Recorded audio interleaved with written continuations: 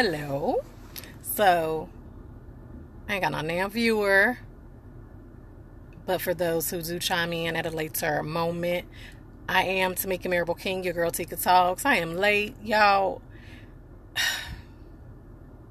Shaking my head. Now, I say that I'm going to be working actively and effectively on all things you know, every day. It ain't even got nothing to do with the year. It's just at all times, right? Time management, though. Lord, somebody pray my strength in the Department of Time Management. So I'm off track a little bit because I went to go visit my granddad and chill with my grandma. So, you know. Um, what y'all doing? How y'all New Year's going so far? What's up? What's up? Hello, somebody. I see y'all joining me. Hello, hello, hello. What's up? So I done pulled over park so I could holler at y'all real quick. I hate to pull my hat down because it's like dark and y'all can't really see me, you know what I'm saying? Bad hair day, for real. So,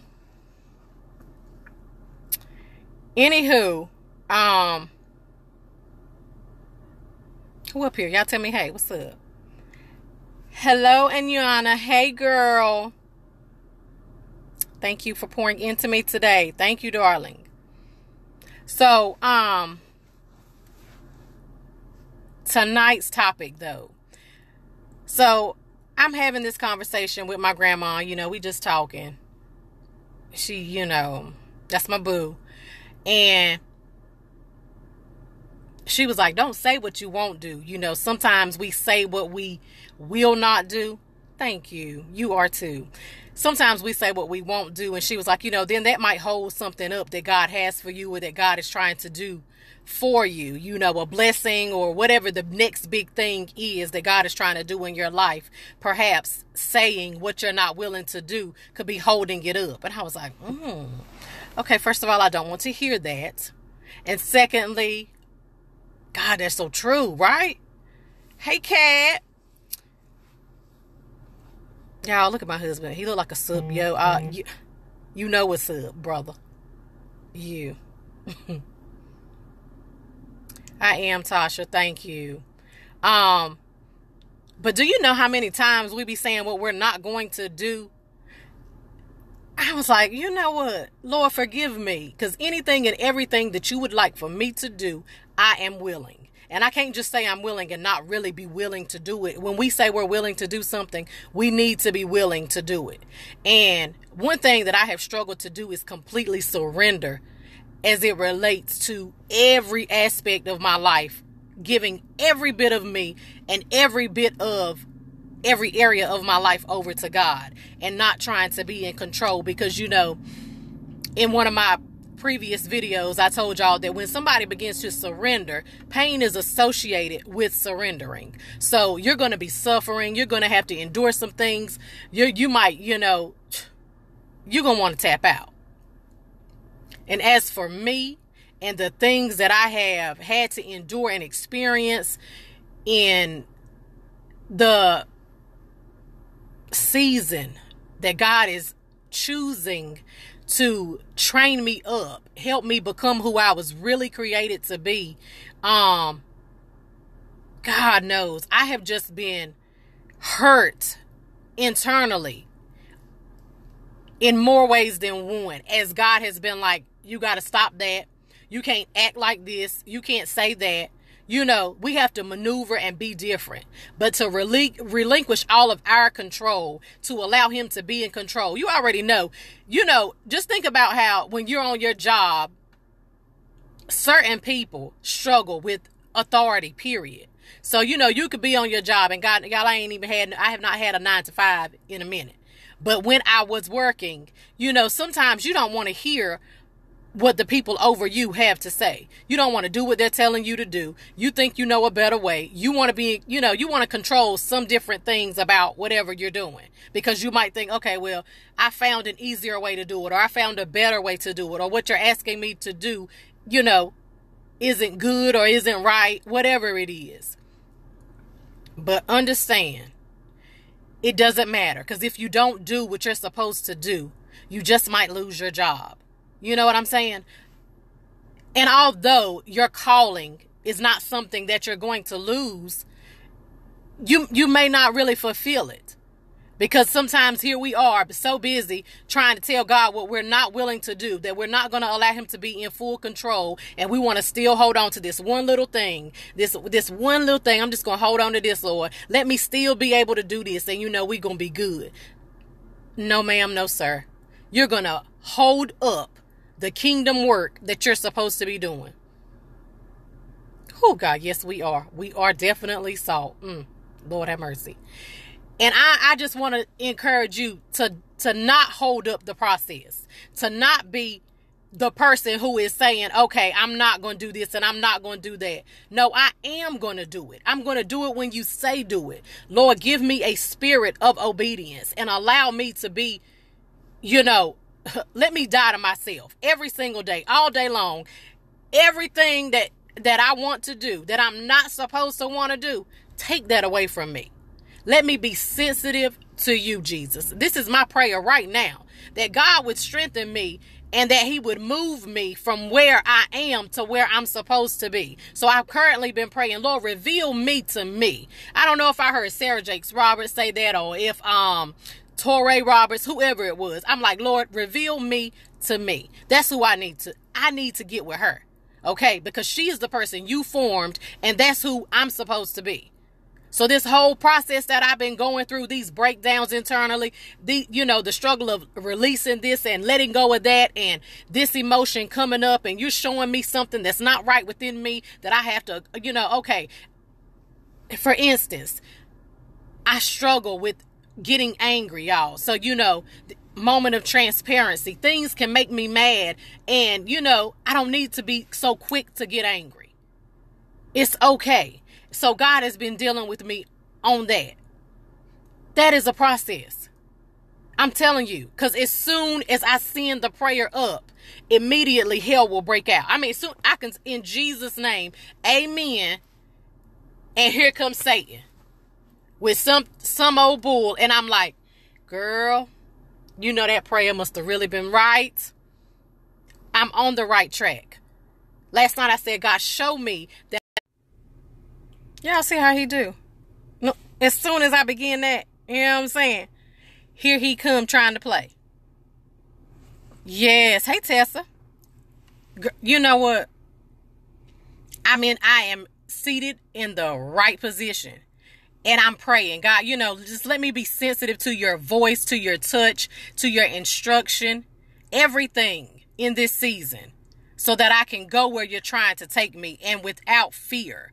You know, I want to reverence God, but and and be fearful of God, you know, but at the same time, I'm going to be fearless as I walk in my calling because God lives in me. So I don't have anything to be afraid of. No one to be afraid of.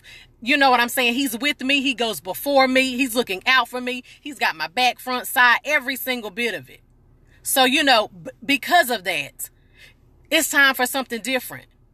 This city needs to see something different. Your community needs to see something different. Your family needs to see something different. And perhaps God is using you to change the lives of your family. Because I'm telling you, some of us have some families that we want to trade in. Okay? Some people have families that you just be like, I can't even believe I can, I'm part of that. But it is so because God is going to use you to be the light, to be the change, to break the curse, and that's what it is. So while we, we are so concerned with all the wrong things, God is saying, open your eyes to what I'm trying to do. You let yourself be used for what is right, for what is good, for what it is he's doing in this season. And only he can do it. Hey Nita. Oh, thank you. Yes, God. Yes, God. Yes, God. I received that. Yes, ma'am, Inyana. Yes, baby. Yes. You know, I'm telling y'all, you don't see what other people are experiencing, you know, whenever they're going through. 99% of the time, people do not walk around looking like what is going on on the inside of them or what's going on on the inside of their home. And that is for a reason. You know what I'm saying? God is doing something great in so many different people, but we fail to recognize what He's doing. We don't even want to tap into it because as soon as it hurts, you're tapping out. But let me just tell you the more you back out, the longer it's going to take if you even get there. Because some of us are going to die having not even been used up by God because we were too afraid and we just wanted to remain comfortable in misery. Lord, somebody catch it because it's it's really uncomfortable. However, you're so used to that dysfunction, you're so used to being unhappy and living paycheck to paycheck that you decide I can't do something else. I'm not going to do anything else. I'm not willing, I'm not worthy, I'm not able, I'm not capable, so I'm going to sit here in this mess and stay like I am. The devil is a lie. It shall not be that way. Not for me, not for my children, not for my children's children. God is doing something new something great. And what He's placed on the inside of me has to come up, has to come out, has to be poured out and placed into other people. I'm going to impart something different because He continues to pour it into me. Oh, baby, listen. We can't be afraid to be used by God. He is too good. He does too much every single day. Because if it wasn't for God, we would be crazy, somewhere losing our minds. I'm telling you, I would be in jail by now if it was not for God. Because this attitude, this this level of anger, nobody but Jesus can do what he does. And then he will take and use people that other people think are unworthy. Okay? He will think, you know, people think, oh, well, God ain't using this person and God ain't using that person. Denied. He chooses who he uses. It ain't up to us. So, you know, Apostle Beckton said last year at a women's conference that I was at that, you know, um, people always making the mistake of running their mouth, saying, talking down about people, you know, so on and so forth because we see people in seed form. Oh, you realize when you see a seed, it looks like it has zero value. You don't know what it's capable of producing because you only see it at its smallest form. You, you, know what I'm saying? It's, it's nothing at the time in which you see it, so you believe because you're seeing it in the natural. But once it's placed in the ground and it goes through all of that dirt, all of that filth, even manure, and it begins to sprout, it begins to produce, and it can yield countless crops, you know, it, things become up. You don't even know. You don't even know what you can yield yourself based on what God is already planning on the inside of you. People just talking down, negative, nasty, judging, condemning, have no clue. Don't even know who they putting their mouth on. God is going to shut them up. Do you hear me? He's going to shut them all the way up. Because that's what he does. He does what we can't do. So you don't have to say not one thing. You ain't got to wish bad on not one soul. You, God bless you. God bless you. God bless you. You don't like me. God bless you. You don't like what God is doing in my life. God bless you. You don't want to speak to me. God bless you. It doesn't matter. It is not going to matter. Not today, not tomorrow, not the rest of my life because I'm pleasing to God and that's who I live for. That's what I'm working for. So you got to get in a place where you understand I am who God says I am. And because of that, I'm enough. I'm good enough. You have to know that. See, everybody else will try to convince you you're not enough. You're not good enough. You're disqualified because of the choices you've made. You don't qualify to be called because of the things you've done, because of the people you ran with, because of the people you slept with, because of the lies you told, because of the stealing you might have done, because of the crimes you've committed. Let me just tell you on tonight that God is saying, I have the final say. He has the final say. Therefore, he can and he will use who he chooses at any time, on any day. Who God? Mm. Y'all, you better let God use you. Get it, get, mm, catch it, catch it, catch it.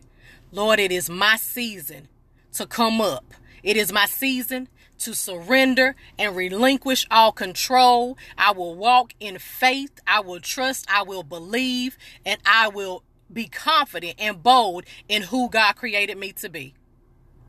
That's it. You're not going to shrink or die down for somebody else, you're going to be who God created you to be. And you're going to walk in that fullness because only God can open the doors that are about to open for the people of God who are doing what He has instructed them to do. Obedience is about to whew, rip the door off the hinges for some of us. Eyes have not seen, ears have not heard. So I don't know who gonna be on this live? And i pray lord whoever needs to see it whoever joins now whoever joins later god be my mouthpiece. Tell them what you want them to know. It ain't about me. It's never about me. Anything that i say or do i don't want it to be about me. I want to be effective. I get zero glory because it's not about Teeka. It's not about who i am. It's about whose i am. So anytime that i'm that i say anything to anybody. I pray that I decrease so God may increase so that you hear and see what He has to say. Don't worry about who it's coming from, you know, because just let just let God use you. When when he has you to say something, be obedient. Cuz that's the thing. Sometimes we're afraid to say something to somebody because you're thinking, "Oh, well, I don't I don't really want to say it." They might think, you know, "Oh, girl, you were just doing this the other week or last year or, you know, so I'm not going to be um receptive or God can choose to use anybody at any moment that he chooses. And if you're in the right place with God, you're going you're going to know if he sent that person to say something to you. So don't be so quick to try to judge somebody that, that shows up and says something to you cuz sometimes we just need a word, okay? I, I sometimes I need a little bit of encouragement. And that's for real. Hey James. Right. So you know, I'm telling y'all everything that you need is in you it's always been in you. And so, you know, whenever people try to make you feel like you're not enough, you don't have enough, you can't do more, they are a lie. I don't even know why we believe them. I don't I don't even know why we we you know, in all that we have done and all that we have experienced, why we would really be sitting there thinking, "Oh, right. I'm less than." You know what I'm saying? If some of us really think about the different things Philip, tell Xavier to quit calling me baby.